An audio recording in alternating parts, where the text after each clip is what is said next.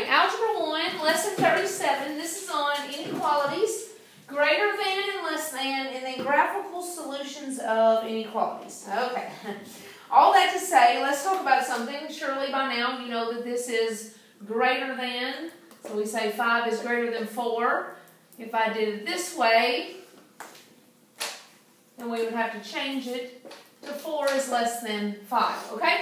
But as you get um, into this kind of math, you're going to learn to do something as greater than or equal to.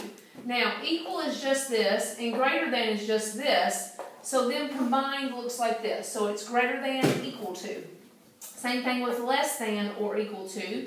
Equal to is this, less than is this, and those combined equals that. Okay? So those are two things you need to know real quick before we even get started. Okay? Now, for example, if I were tell you to uh, graph this, x is less than 4. Okay, what you would do is you would draw a number line. okay, on both sides, you can just fill that out.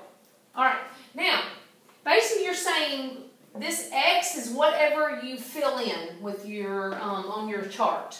So I'm going to fill in whatever